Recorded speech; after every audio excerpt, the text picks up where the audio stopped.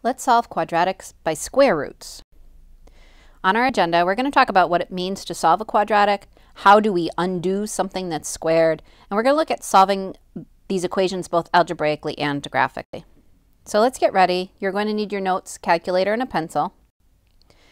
And let's just start with what does it mean to solve quadratics? So here we have a quadratic, it's been graphed. We know that the, the name of the shape is a parabola.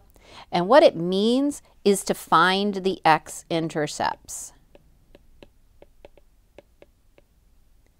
So in this case, can you see them in the picture? You can see the x-intercepts. They're right there. There are two answers. So when I look a little closer, my answers to this would be 2 and negative 2. Those are my x-intercepts. So I must have solved an equation that gave me those two x answers. Here I've graphed four parabolas, four different parabolas. They're all color-coded. Let's just take a look and see what you notice. If I look at the graph, I can see my vertex here is at 0, 0. This one is at negative 1, negative 4, negative 9. If I look over here, here's 0, negative 1, negative 4, negative 9. So if we think about these equations, they're technically in both vertex form and standard form. That last number is my y-intercept. It's also my shift down. So this one's going down 1, down 4, down 9. Now let's take a look at the x-intercepts as if we were solving this. So for the red graph, the x-intercept, the answer is 0. For the blue graph, the answer is 1 and negative 1. 1 and negative 1. For the green graph, the answers are 2 and negative 2. And for the purple graph, our answers are 3 and negative 3.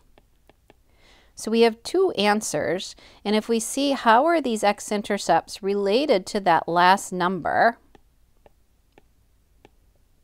you might notice that 1, 4, and 9 are all perfect squares. The square roots of them are 1, 2, and 3 respectively. So let's see where that leads us. When we're solving, we might start with an equation that's y equals, but we usually use that to graph. So we want to set equal to 0. So y equals is for graphing. When we have it set to 0, then we can go ahead and solve it. So let's solve this. Um, we're going to try to undo it. So I want to get to this x. I can see right now it's being squared and then 4 is being subtracted from it. So we want to undo operations. So I want to start with addition or subtraction first. So I'm going to add 4 to both sides. And I end up with a, a statement that says 4 equals x squared. So if I just think about that for a minute, I'm trying to think about a number that I can plug in here and then square it, and it's going to equal 4. So that must be mean it's the same number multiplied by itself. Well, the answer will be 2. However, is there any other number that would make this a true statement? Yes. So if I plug in negative 2 in parentheses and square it, I'm also going to get 4. So negative 2 is an answer. So you want to make sure you're finding both answers, not just one answer. That comes from taking the square root. So if we're trying to undo something that's squared, we undo it with a square root. Squaring and square roots are called inverses of each other. They will undo each other. So if I have x squared equals 4 and I want to undo it, I'm going to take the square root of both sides. You have to remember the plus and minus. Plus and minus. That's what's going to get you your two answers. So the square root of 4 is 2 and we want to include the plus or minus. You can write it that way. You can say x equals 2, x equals negative 2. You should be familiar with both notations. When you're solving, you set it to equal to zero. How come? Because we're trying to find the x-intercepts. And when we have x-intercepts, it's the y that is zero. So here I graphed, here I have solved, and I have my answers of 2 and negative 2.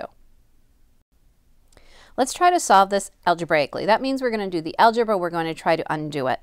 So I'm subtracting 16, so I'm going to do the opposite and add 16 to both sides.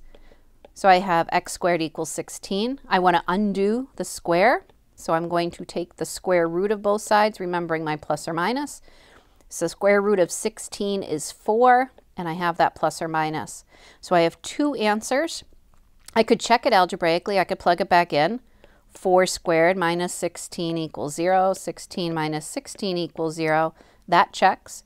I'm going to plug in the negative 4 with parentheses. Remember, negative 4 whole thing squared is still going to come out to be a positive 16.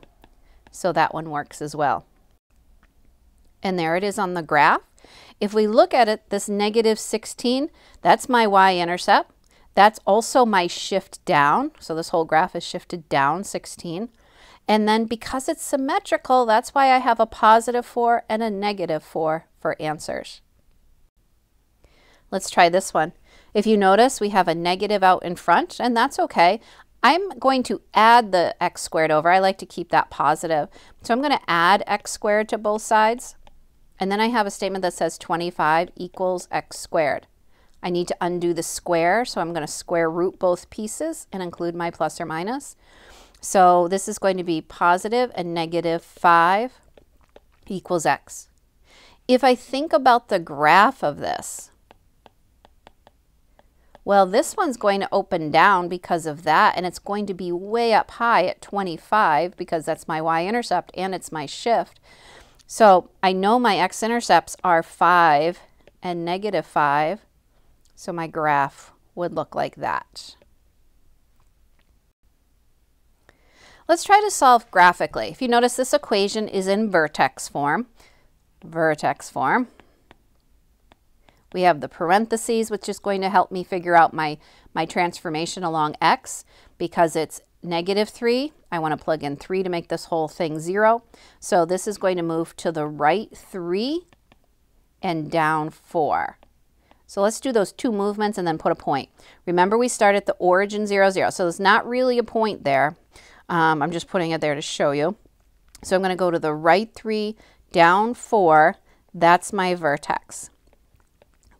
Negative, uh, positive 3, negative 4. And it opens up. My A value is 1, so that's my normal step pattern. So I'm going to go up 1 to the right one, up 3 to the right one. Let me just get rid of this point there. And I'm going to go left, back to my vertex, up one, left one, up three, left one. There's my parabola. So I've graphed it. Now if I was asked to solve it, I know that those x-intercepts are my answers. So I can say my answer is x equals 1 and x equals 5.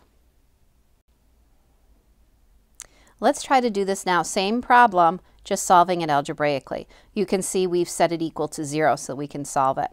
So we have our original, and in the parentheses, we're subtracting 3, squaring it, and then subtracting 4. So I want to start outside. I'm going to add the 4 to both sides.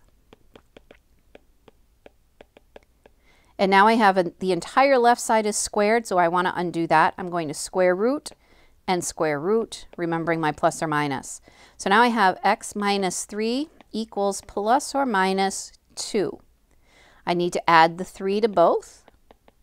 And this right-hand side is going to look a little funny. 3 plus or minus 2. That's two problems you're doing at the same time. So x is 3 plus 2 and x is 3 minus 2. So here we find out that x is 5 and x is 1, which was what exactly we got with our graph. Let's try this one. So we're going to do the algebra. I'm going to undo addition and subtraction first. I'm going to subtract the 5 from both sides. And then I need to undo the fraction 1 fourth. So I could divide by it, but instead I'm going to multiply by the reciprocal. So I'm going to multiply everything by 4.